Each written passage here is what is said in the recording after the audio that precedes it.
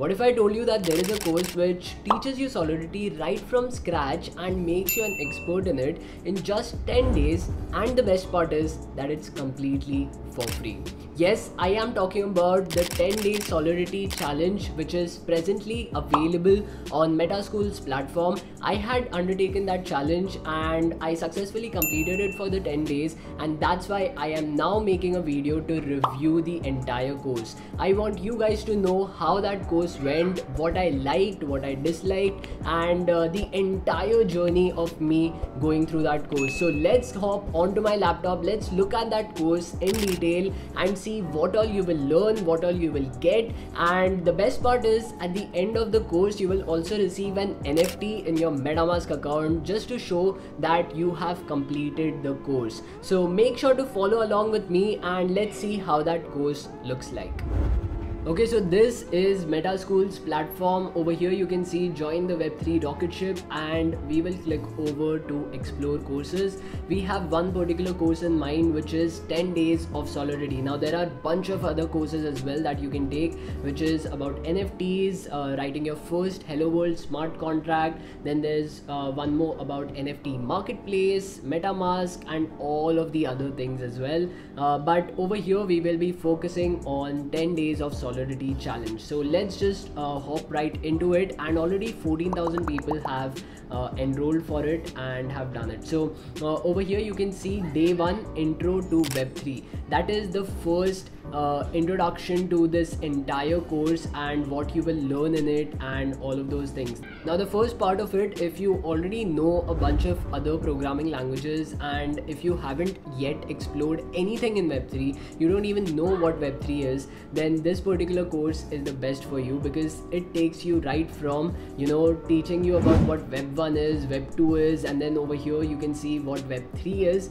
and then it also shows you all the examples and everything about about web3 uh, other thing that i forgot to mention was that at the end of each of these courses you will have an assignment. So over here the assignment was what is web3 do not copy my assignment but i just wanted to show you guys that uh, over here i had written read write and own. That is what web3 is. And uh, over here you can also find discussions. If you have any kinds of doubts regarding that particular course then you can always put it over here in the discussions tab or you can even message me on telegram you can join my group which is student samaj by ali solanki. If you haven't joined that group join it right now. Uh, I, I will be personally solving those doubts as well. So that is what there is uh, to this first section which is intro to web3 after that we have intro to blockchain theory and consensus mechanism. If you don't know what consensus mechanisms are if you've heard of proof of work proof of stake all of these are consensus mechanisms.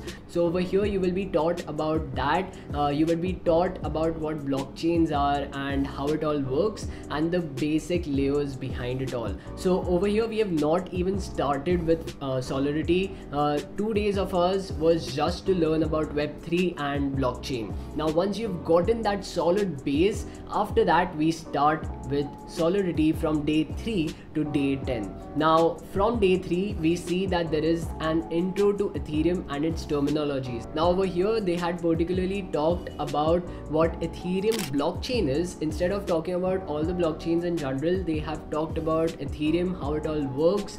And uh, because Solidity is the main programming language that works on Ethereum blockchain and other blockchains which support EVM, which is Ethereum Virtual Machine, uh, that's why they are talking about Ethereum over here. Now they have all the graphics, they have every single thing listed over here, and uh, you can see they have even uh, shown you how you know blocks are connected how these transactions are stored with their headers uh, and everything. So everything is uh, you know written over here. Forks genesis block how it all works. If you're not understanding any of it right now just go over to this course and start learning about it. You can even uh, put in your assignments over here and then there is the discussion section as well. So that was the day three. After that we move on to day four. Now day four is where you start with hello world smart contract contract using remix. Now if you don't know what remix is let me just show it to you right away. So just search for remix ide and over here you will find uh, remix. Okay this was not remix. Yeah remix ide so remix.ethereum.org this is uh, remix. So over here you can find that you can actually start uh, you know putting out your smart contracts. This is a solidity smart contract. Let me just zoom in. So this is a solidity smart contract that you can just you know write over here. If you watched my how to create a cryptocurrency video uh, you would have seen me use uh, remix for you know deploying my smart contracts and interacting with them. So it's a perfect tool that you need to learn if you're you know getting into solidity learning about solidity and uh, deploying smart contracts as well. So over here that is what is taught to you what is remix ide and hello world smart contract and all of those things. After that we have day 5 of creating your own simple erc20 contract. Now erc20 smart contracts are basically those token contracts. So if you've uh, heard about shiba inu that is an erc20 token. Uh, so with ERC20 you can actually create your own cryptocurrency. So on day 5 you will actually be able to create your own cryptocurrencies you'll be able to deploy them and all of those things. Day 6 is about useful libraries and OpenZeppelin so let's look at what OpenZeppelin is because that is really important as well. So let me just open that up. OpenZeppelin and my uh, spelling was wrong by the way but um, over here you can see uh, docs and over here you can find the contracts. So OpenZeppelin has a bunch of contracts. Now we were talking about erc20 right? So over here we have erc20 contract and you can directly use uh, OpenZeppelin's contracts in your smart contract. So just by writing this particular line of code which is import OpenZeppelin uh, erc20.solidity you would be able to import the entire uh, erc20 contract and then use it according to your needs. So that is what OpenZeppelin does. ERC20, ERC721 is the NFT contract. Then there's ERC1155, which is again NFT contract, and then a bunch of other contracts as well. Uh, you can even customize it depending on what you want. Uh, you have all the things listed over here. So Open OpenZeppelin is very important to learn when you're building smart contracts. It helps you a lot. You can just use those templates and start writing your smart contracts right away instead of inventing the wheel right from scratch so that is what OpenZeppelin does. After that we have day 7 of creating your own simple ERC 721 contract. Oh I just went back yeah.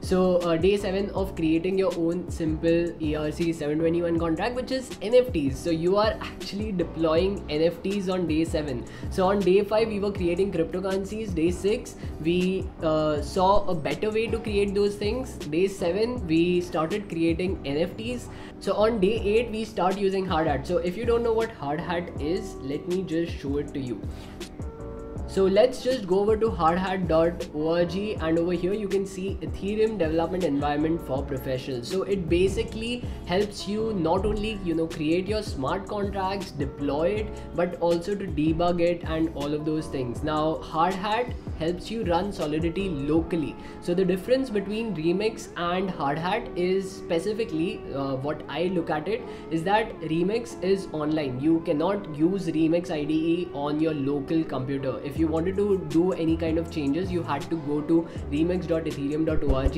and you cannot download it but hardhat is something that you can run locally you can debug with it and you can do all sorts of things uh, if you've used vs code for writing any kind of uh, smart contracts or anything or any kind of development projects then uh, it integrates very well with uh, visual studio code as well. So uh, yeah that is something that i wanted to show after that we have writing unit tests on hardhat so over here after you create your smart contracts the major problem that happens with these contracts is that we forget to test them out and see if it actually supports the production environment or not. So over here on day 9 we will be writing unit tests and testing our smart contracts. And then day 10 that's my favorite one which is solidity best practices. Now over here you will learn how to save gases and uh, you know data privacy loop uh, pagination and a bunch of different things. So uh, that is something that i wanted to show.